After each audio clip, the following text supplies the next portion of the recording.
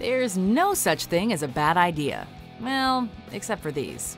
Welcome to WatchMojo.com, and today we're counting down our picks for the top 10 dumbest inventions. And it increases your cup size two full cups. But then it goes down. Yeah. For this list, we're taking a look at products that sound too bizarre to exist, but they do.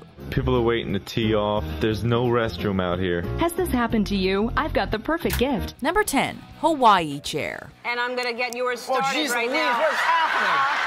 Well, Whoa. first, Wait a uh, minute. What, what does this have to do with Hawaii? If you're stuck in an office all day, finding the time to work out can be a struggle. The Hawaii chair, also known as the hula chair, is intended to kill two birds with one stone. With the appearance of a regular desk chair, this invention possesses a rotating seat that mimics a hula dance. this is truly the machine that takes the work out of your workout. Users can exercise their whole body without even standing up. At least that's what the infomercial implies. As far as fitness equipment goes, the Hawaii chair is hardly a substitute for the treadmill or elliptical. On top of that, it's too rambunctious to function in a quiet workplace environment. Imagine answering the phone or using the computer while riding a tilt-a-whirl. It's bound to end badly. If you can sit, you can get fit. The Hawaii chair. Number 9. Lipstick Stencil. Do you have trouble applying lipstick? Well, even if you do, we would not recommend wasting your money on a lipstick stencil. You're a whore. Wear your whore makeup, you whore. This Japanese product is supposed to prevent lipstick from bleeding outside the lines of your lips. By strapping the uncomfortable headgear to your face, you can use the mouth shaped outline to keep lipstick inside the lip area. Acostúmbrate a llevarlo siempre, como una segunda piel. Apparently, the people behind this ridiculous invention have never heard of lip liner. Aside from being inefficient, the lipstick stencil looks like it was designed to restrain Hannibal Lecter. Apparently, Lewis had murdered a transient and done things with the skin. Of course, if you ever come across one of these eyesores, you can always use it to carve a jack o' lantern for Halloween. Number 8. The Flowbee. A lot of kids like trendier haircuts. They like it very short here mm-hmm. and then long. Right. Or any variation on that. Getting a haircut might be a hassle, but buying a Flowbee isn't exactly a superior alternative.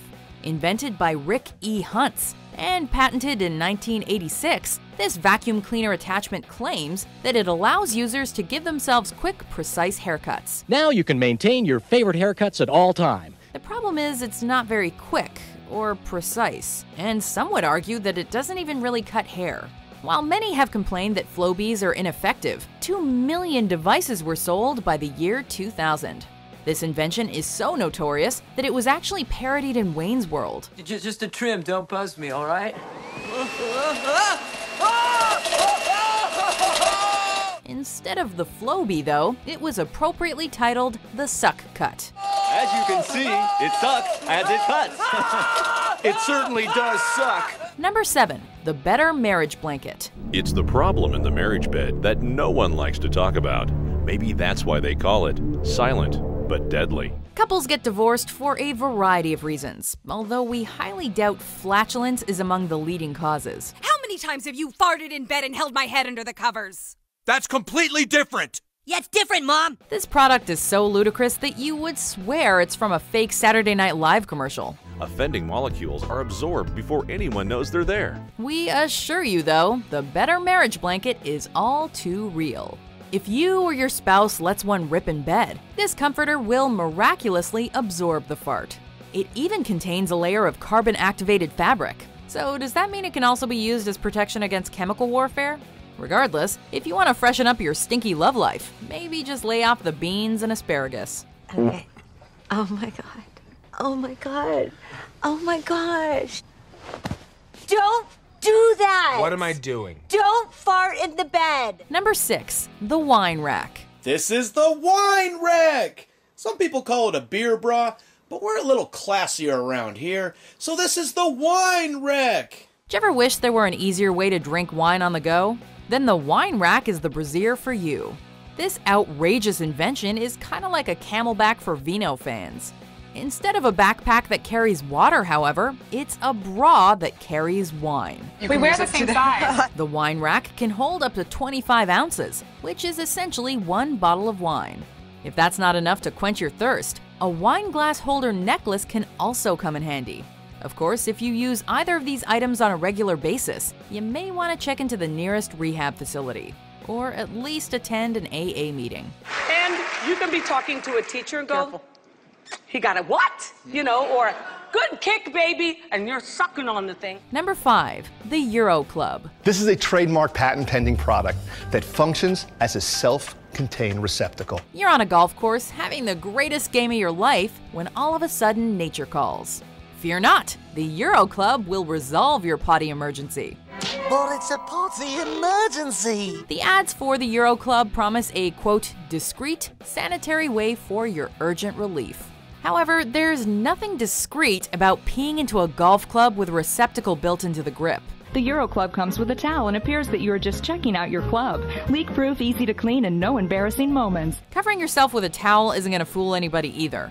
It's also worth pointing out that public urination is illegal in most places. Let's let's not talk about illegal, mister. I like to pee on little boys. You know, it was an empty playground in the middle of the night. Oh, that's even weirder. You're better off seeking out the nearest toilet, especially if it comes equipped with a potty putter.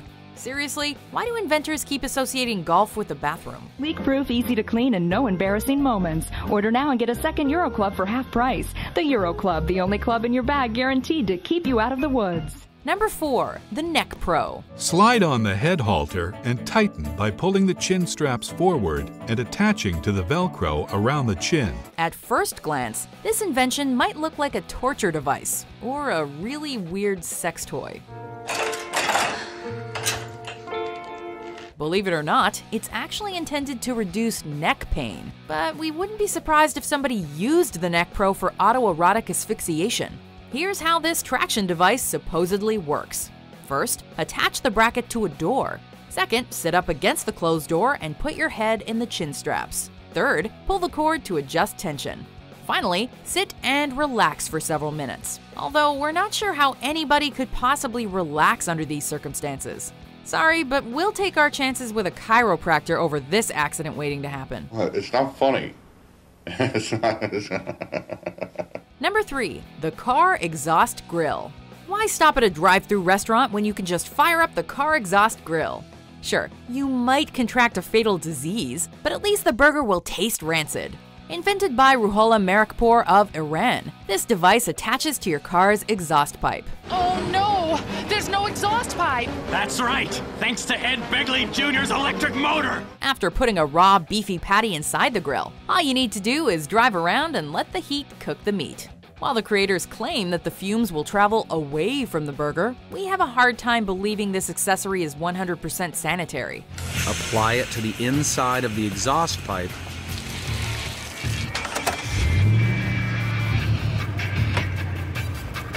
and you should have enough time to walk away before the fun starts. Suddenly, fast food is starting to sound like a healthy option. Number 2. The Goldfish Walker. If you have a goldfish, you should avoid putting its tank in direct sunlight. This not only creates a large amount of algae, but can also cause the water temperature to rise and overheat your fish. Fishy! Wake up! Wake up! Oh no! We wonder if Mick Madden knew this when he invented the goldfish walker. A middle aged metal worker from northern England, Madden felt that his two little fishies, Malcolm and Ethel, needed to get out and see the world. Klaus, you're an outside fish now. Not cool, bro. I'm a fish. Thus, he attached a fishbowl to a trolley to create a portable aquarium. Now, his fishy friends can experience the great outdoors like dogs, although it's safe to say that Madden is the real fish out of water. Oh, forget it, Daddy. I can't take a goldfish on a walk. Before we get to our top pick, here are some honorable, or in this case, dishonorable mentions. My little darling Penny, you are so precious. Now let's take a look. That's. Cush maintains a more natural shape while resting on your side. No straps, no underwires, no constraint.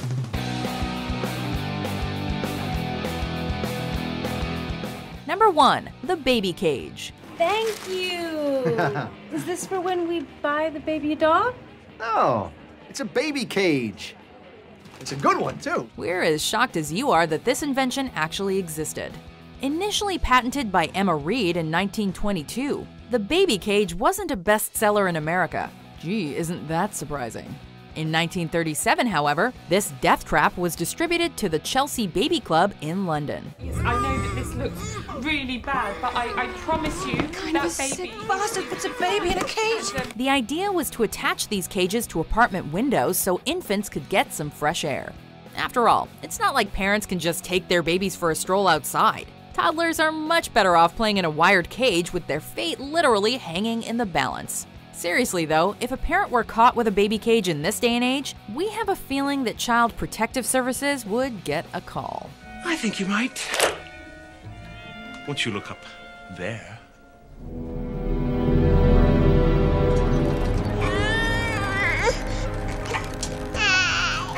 Do you agree with our list? What do you think is the dumbest invention ever? When finished, just pull the chin straps away from the Velcro. For more entertaining top 10s published every day, be sure to subscribe to WatchMojo.com. I could wax. No!